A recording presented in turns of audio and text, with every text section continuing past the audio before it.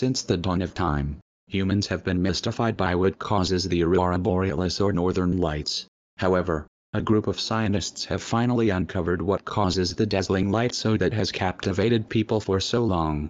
Researchers at the University of Iowa have proven that the shimmering auroras are the result of powerful electromagnetic waves during geomagnetic storms, according to a newly published study.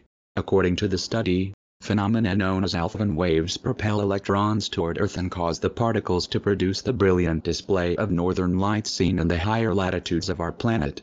Measurements revealed this small population of electrons undergoes resonant acceleration by the Alfvén wave's electric field, similar to a surfer catching a wave and being continually accelerated as the surfer moves along with the wave. Professor Greg Howes, a co-author of the study, told CNN.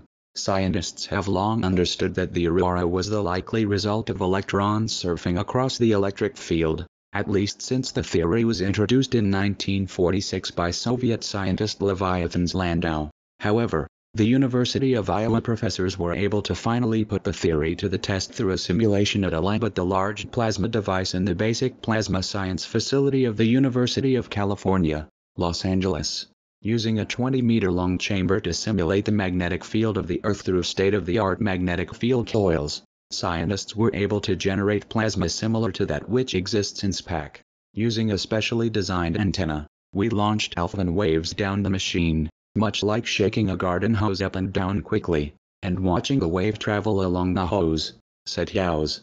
While this didn't result in the type of auroras we might see in the sky, our measurements in the laboratory clearly agreed with predictions from computer simulations and mathematical calculations, proving that electrons surfing on Alfvén waves can accelerate the electrons, up to speeds of 45 million miles per hour that cause the aurora. Howes noted, scientists across the country were elated by the results of the experiment.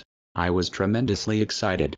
It is a very rare thing to see a laboratory experiment that validates a theory or model concerning the space environment said Patrick a scientist in the heliophysics division of NASA. Space is simply too big to easily simulate in the lab, he added.